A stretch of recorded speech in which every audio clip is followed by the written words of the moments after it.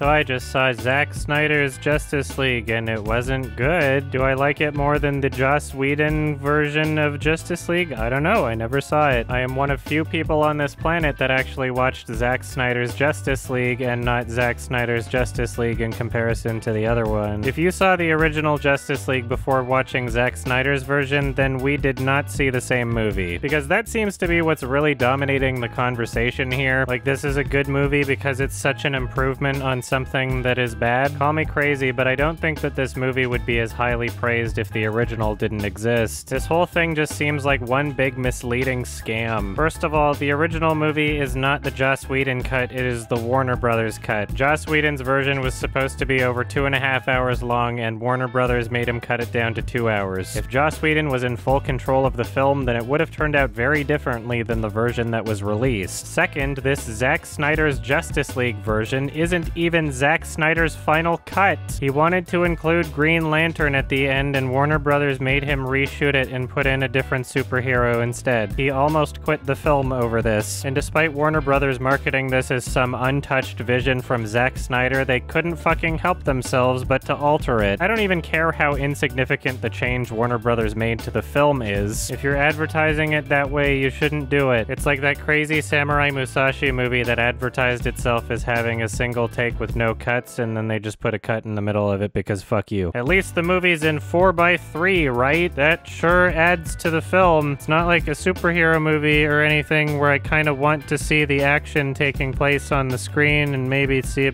a bit more past the fucking black bars. I don't know. Uh, I guess I'm going into spoilers, so skip the whole fucking video if you don't want to hear spoilers. You've all seen it. Why would you hear me talk about this movie if you haven't seen it? The jokester said that we live in a society in the trailer, and that wasn't in the movie. Sorry. He just showed up for a dream sequence that didn't even matter. The characters in this film are incredibly annoying, especially Flash. They tried so fucking hard to make him funny, and they failed miserably on each and every single attempt. I was legitimately considering turning off the movie because of Flash, and then my roommate told me to imagine him as Nathan Fielder instead, and I did, and then it made it funny, and I was okay with it. If you're having trouble with the cringe that is Flash, just imagine Nathan Fielder instead of Ezra Miller, you'll be fine. And since I have this platform, I might as well make a formal request that one of you does a deep fake on the Flash scenes in the film and just replace uh, his face with Nathan Fielder. I think it would actually be a better movie. Get on it. Thank you. Even if his character wasn't the most annoying thing of all time, which he is, the inclusion of his character in this film completely destroys any chance for logical consistency or immersion into the universe. And the script knows that he's way too overpowered as a character, so they just nerf him at convenient moments whenever they want. Sometimes he'll fall for no reason. There was a point where he saved someone from falling rubble because he's super fast, and then one more piece of rubble falls and he says no, and then Cyborg saves the guy. What was so different about that last falling piece of rubble? In the time you said the word no, you could have dealt with it and had enough time left over to solve world hunger. There's a part where Wonder Woman's trying to grab her sword and she's in slow motion, and uh, the Flash zooms in because he's super fast and he pokes it back to her with his finger on the sharp end, uh, just his bare finger. He's not cut. Apparently, this has to do with the electricity or something, but for some reason, he can't do the same thing to whatever projectile hits him in this scene. Why didn't the ammunition just bounce off of him like the sword did? I'm sorry, but if he's approaching the speed of light in order to turn back time, the fact that he got shot in the first place is fucking stupid. Whatever they're shooting him with, it's going very slowly. You can see them moving slow as you see the bug people flying. But nope, this is the one shot we're gonna show of Flash running that isn't in slow-mo, because if it was, you'd see how fucking stupid it is. The second most annoying character in this movie was Wonder Woman, although this is still miles away from the Flash. And this is mostly due to how the soundtrack was incorporated into the film. Every time she shows up on screen, the music abruptly changes to oh, oh,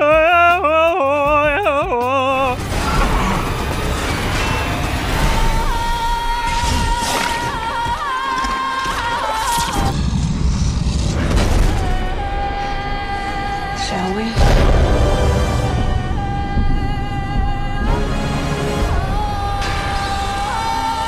It was basically like a comical punchline that kept getting more and more frequent as the film went on. The third most annoying character in this movie is the script. Throughout the film, we are subjected to impressively terrible dialogue. If you can't bring down the charging bull, then don't wave the red cape at it. You do when it's this red cape. This red cape charges back.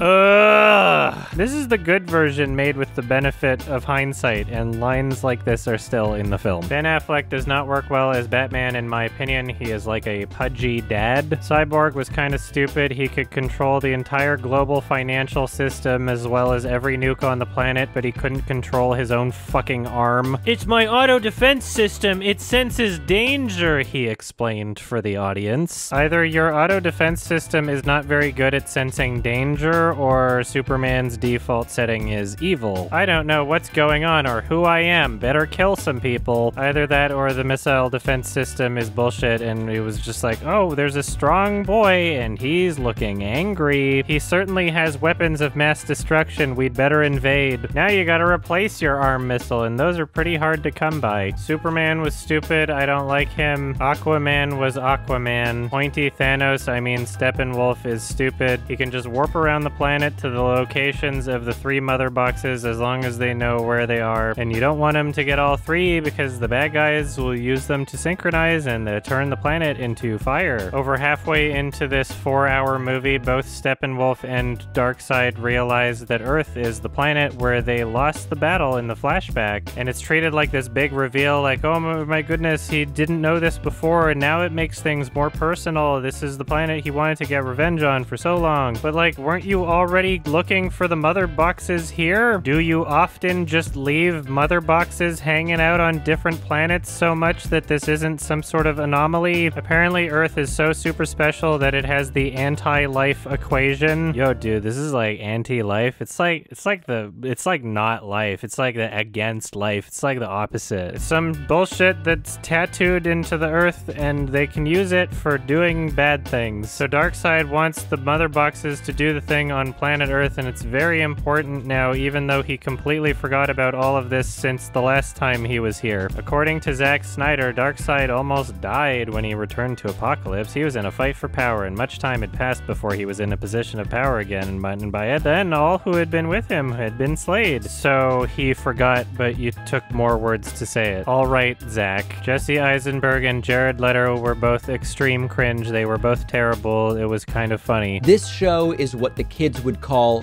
giga cringe. There's lots of slow motion in this movie, and there's lots of montages with previously existing licensed music songs with lyrics. It's a Zack Snyder film. The things that happen in the movie are stupid and they don't make sense, and I don't like it. But this is his real vision, so yay. If only he'd had full control over Man of Steel and Batman v Superman, then those films would also be in 4x3 aspect ratio and over four hours long, unless that wasn't the plan and he just decided to make three films that are incredibly inconsistent with themselves despite being in the same universe and him directing all three of them. This movie actually made me interested in checking out the original Justice League. It seems like it might be funnier in an unintentional sort of way. It's also much shorter and that sounds great. But since I haven't seen that yet, I can't really say whether or not this film is an improvement. Perhaps if I did, then maybe this film would have been more refreshing. Whoa, congratulations, Zack. You gave me cancer instead of AIDS. Anyway, it was not good. I did not like it. Sorry. And I'm giving this one a 3 out of 10.